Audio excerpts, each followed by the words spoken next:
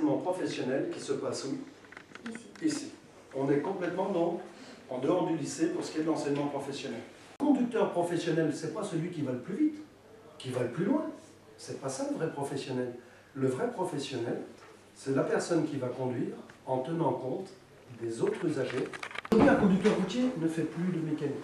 Est-ce qu'on répare l'électronique Il y a malgré tout des connaissances véhicules. Donc on a des bases mécaniques. Donc il y a deux permis poids hein, le permis C, le petit camion isolé, et puis le permis EC, celui qui est articulé. Hein, vous voyez euh, ce qu'on appelle souvent la SMI, hein, c'est ça Donc euh, pour ces deux permis-là, eh bien, il est demandé aux jeunes euh, de présenter son véhicule et on lui posera des questions concernant la partie mécanique du véhicule.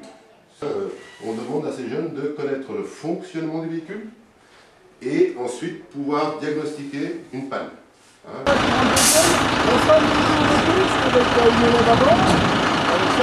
Les deux formations qu'on vous proposera sont ce qu'on appelle un CRP de conducteur, livreur, marchandise. D'accord? Et vous avez le bac conducteur, transport routier de marchandises. Ici, nous aurons deux ans d'études, validés par le diplôme de CAP qui délivre le permis C. Ce sont ce qu'on appelle les petits poids lourds, si on peut dire. On n'est plus dans la camionnette, nous sommes quand même dans le poids lourd. Après le bac, lui, ça va durer combien? Trois ans où vous sortez avec quoi? Le permis EC, autrement dit les gros véhicules. Qu'est-ce qu'on va vous demander à votre avis de savoir dans le métier de la route? Quel autre rôle peut-on avoir?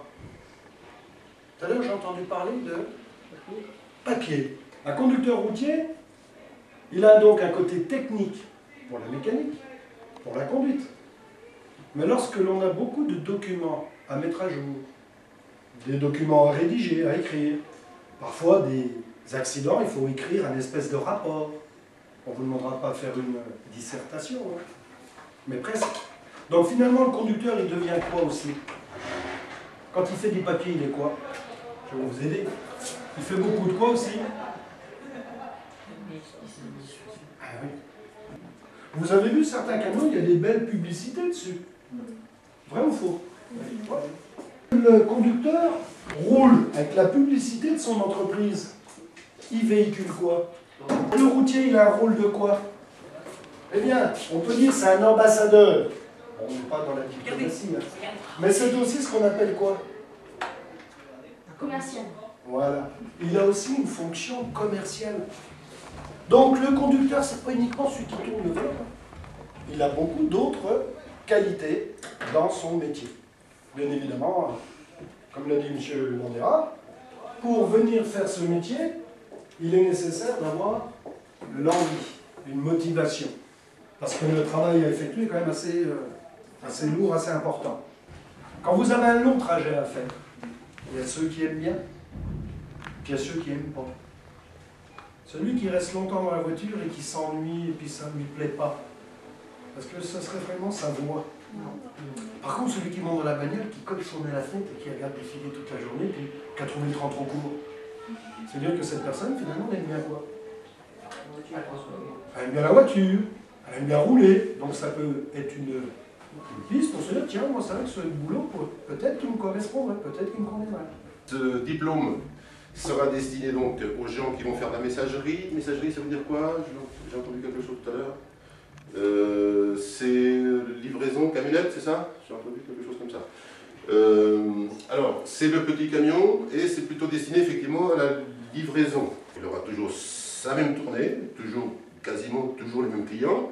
Euh, et au niveau du salaire, bah, c'est pas énorme parce que euh, dans ce métier, le salaire souvent c'est euh, souvent c'est euh, il y a des primes qui viennent se rajouter au salaire.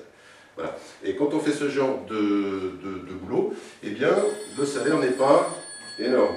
Lorsqu'on a un bac conducteur, transport routier de marchandises, on commence à sillonner quoi? Ah, UE, ça veut dire quoi pour vous? Voilà, autrement dit, vous pouvez partir faire de la très très grande route. Où là, vous êtes parti deux nuits, trois nuits, ou parfois, euh, vous êtes parti de 15 jours, trois semaines sur les routes. Tout dépend où l'on va. Mais trois semaines où, par contre, on apprend et on s'enrichit énormément de ce que vous rencontrez au quotidien sur les routes. Parce que l'un des avantages du métier, c'est que vous voyagez en France, mais aussi dans d'autres pays.